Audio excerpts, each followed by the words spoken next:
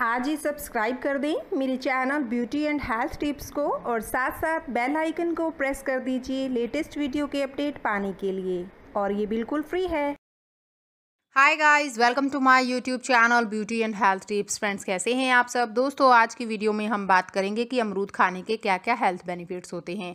अमरूद के अंदर बहुत सारे न्यूट्रिएंट्स पाए जाते हैं, जो हमारी हेल्थ के लिए बहुत ज़रूरी होते हैं, जैसे कि वाइटमिन सी फाइबर बहुत सारे मिनरल्स एंटीऑक्सीडेंट्स जो कि हमारी हेल्थ के लिए बहुत ज़्यादा ज़रूरी हैं।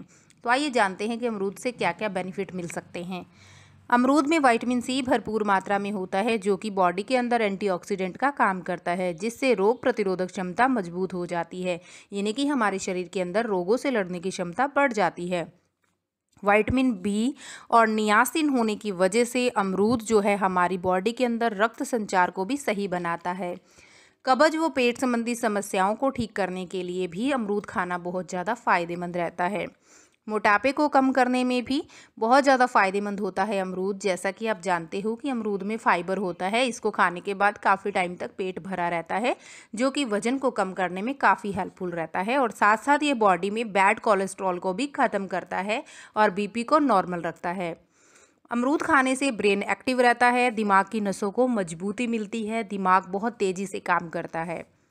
हेल्दी ग्लोइंग स्किन पाने के लिए भी अमरूद खाना बहुत फ़ायदेमंद होता है, क्योंकि अमरूद में विटामिन सी एंटीऑक्सीडेंट्स और कैरोटीन होता है, जो स्किन को यंग एंड ग्लोरियस बनाए रखता है। और साथ साथ अगर आपकी स्किन पर एक्ने हो जाते हैं पिंपल्स कार्स रह जाते हैं तो उनको रिमूव करने में भी अमरूद खाना बहुत फ़ायदेमंद रहता है।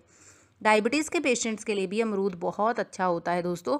अगर डायबिटीज़ टाइप टू का पेशेंट अगर दिन में दो से तीन बार अमरूद का सेवन करता है तो उसके लिए बहुत ज़्यादा बेनिफिशियल होता है, क्योंकि अमरूद में फाइबर भरपूर मात्रा में होती है, जो बॉडी में इंसुलिन के प्रोडक्शन को बढ़ाती है। अगर किसी को मुँह में छाले हो जाते हैं तो मुँह के छालों को ठीक करने के लिए अमरूद की कोमल पत्तियाँ बहुत फ़ायदेमंद रहती हैं। अगर अमरूद की कोमल पत्तियों को चबाकर खाया जाए तो मुँह के छाले जो होते हैं, वो जल्दी ठीक होना स्टार्ट हो जाते हैं। और मुँह के छालों में आम अमरूद का सेवन भी कीजिए, इससे आपको बहुत ज़्यादा लाभ होगा। सो so फ्रेंड्स, ये थी आज की जानकारी। अगर आपको आज की वीडियो पसंद आई है तो ज़्यादा से ज़्यादा लाइक कर दीजिए और कॉमेंट सेक्शन पर कॉमेंट करके ज़रूर बताइएगा कि आपको मेरी वीडियोज़ कैसी लगती है।